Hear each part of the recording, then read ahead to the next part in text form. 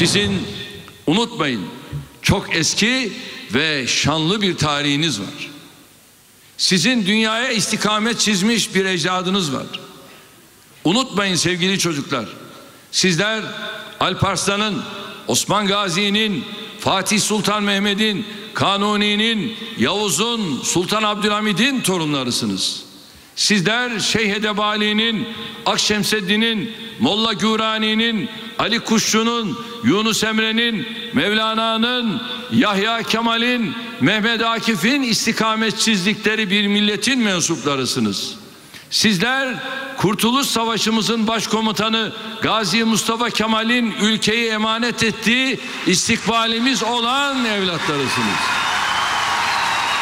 Türkiye'de demokratikleşmenin önündeki en büyük engel unutmayın. 11 yıl öncesine gidelim. Çeteler olmuştur. Mafyatik yapılanmalar olmuştur. Cuntalar olmuştur. Hükümetler kurmuşlardır, hükümetler indirmişlerdir. 11 yıl boyunca çetelerle mücadelemizde sağladığımız başarı oranında demokratik hamleler gerçekleştirdik. Şimdi artık son çeteyle mücadele ediyoruz. Bu çete de tarihe karıştığında, bu paralel yapı da çöktüğünde inanın demokrasinin önünde hiçbir engel kalmayacak. Kalmayacak. Her birimizin çıtası hedefi şu olacak. Öyle bir şehir inşa edeyim ki değerli kardeşlerim bu çok önemli. Öyle bir şehir inşa edeyim ki şairler, ressamlar ondan ilham alsın. Öyle bir şehir imar edeyim ki mühendislere, mimarlara, şehir plancılarına esil kaynağı olsun.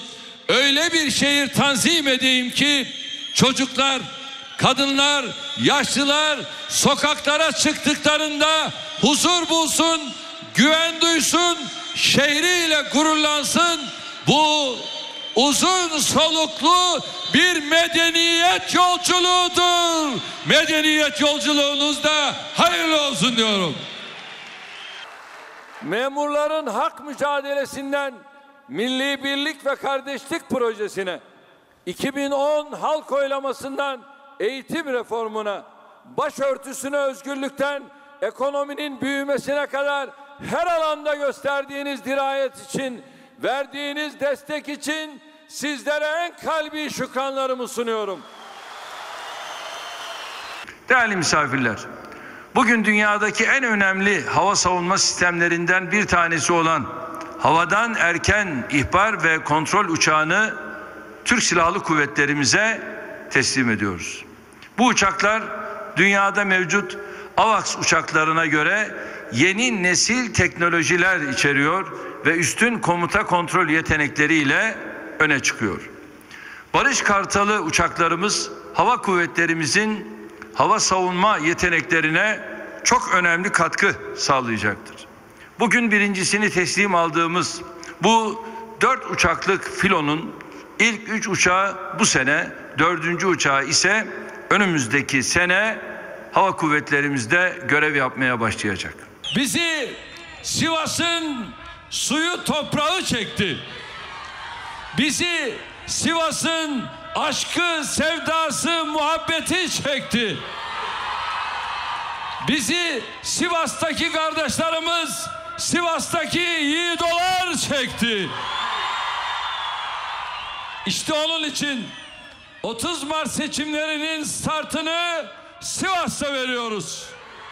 Bugün Sivas'tan başlıyoruz. Ve bugün Sivas'tan ya Allah Bismillah diyoruz.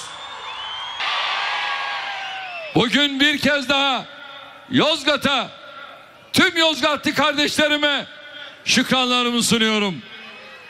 3 Kasım'da 28 Mart'ta 22 Temmuz'da 29 Mart'ta hep AK Parti dediniz. 2010 halk oylamasında yüzde 77 ile rekorların şehri oldunuz. Afyonkarahisar'ın AK Parti nezdinde AK Parti tarihinde de çok önemli bir yeri var. Biz kutlu yolculuğumuza, büyük Türkiye yolculuğumuza, istiklal mücadelemizin, zaferin şehri Afyon çıktık. Afyonkarahisar Belediye'mizin yaptığı park, pazar yeri, iş merkezi, restorasyon, otopark, hobi bahçeleri, lokaller, fırınlar gibi 16 eserinde yine bugün resmen açılışını gerçekleştiriyoruz. Tüm bu yatırımların Afyon Karahisar'ımıza, siz değerli Afyon Karahisarlı kardeşlerimize hayırlı olmasını Allah'tan temenni ediyor. Emeği geçen tüm kardeşlerimi huzurlarınızda tebrik ediyorum, kutluyorum. Kütahya'nın en büyük mahallesinin adı ne mahallesi? Vefa Mahallesi'dir. Biliyorsunuz değil mi? Vefa Mahallesi. Kütahya vefa nedir çok iyi bilir. Bizler de vefayı çok iyi biliriz. Siz demokrasinin, milli iradenin arkasında durdunuz. Bize yetki verdiniz.